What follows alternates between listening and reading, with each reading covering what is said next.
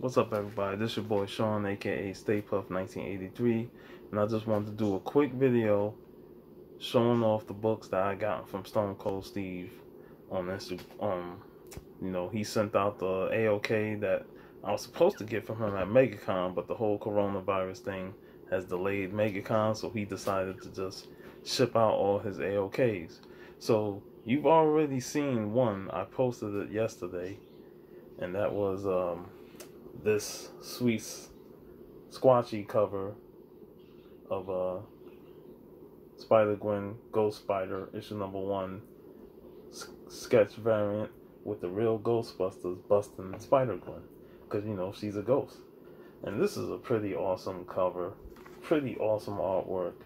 You know, I could probably show this about as many times as I want because it's just a great uh, slab and you know it's a D-Runk, you know, his custom slab. Shout out to D-Runk Comics, you know, for these great looking slabs and great uh, labels. but yes, also shout out to Squatchy for this amazing, amazing sketch cover because it's just just wonderful, wonderful. You know, so three people involved with this.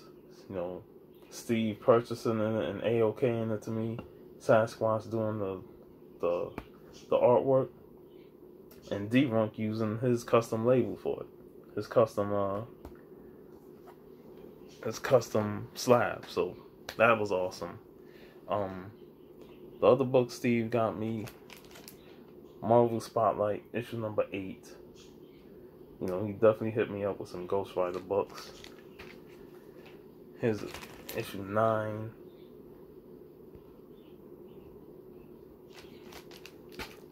Issue 10.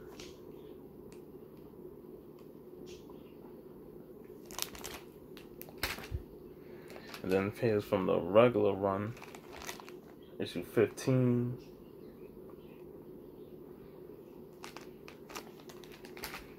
Issue 17.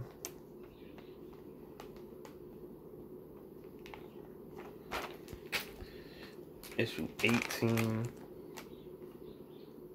just great Bronze Age covers. You know, his issue 30. And this is a Doctor Strange appearance. Just another great cover.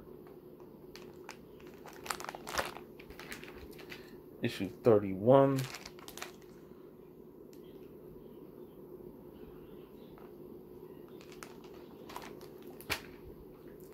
Issue 61, Prisoner of the Hellspawn.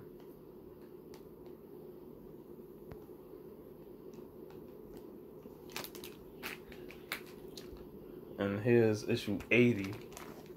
I think I have this one. This is the second to last uh, issue. Issue 81 was the last issue of the run, so. but I might have this, so. You know, I might send send out another AOK or put this in the giveaway. Is uh, Jungle Action, Black Panther, first uh, Black Panther story run. You know, his solo run. That's amazing. Tales of Suspense, issue 98, Captain America and Iron Man, with a sweet curvy cover of Cap fighting Black Panther. Just an awesome, awesome cover.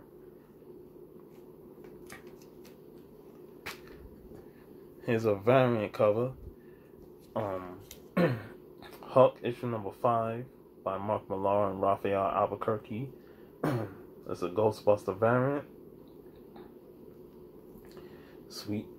You know, you know I love the Ghostbusters, so anytime they these guys see a Ghostbuster comic, they think of me and they they say, you know, Puff might need this. So that was great on Steve to they picked that up.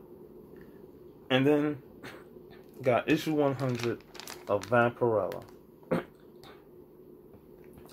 know the tag's been going around to keep it 100 comics, and I'll probably post this on Instagram to answer that tag. But yeah, this is just a gorgeous cover.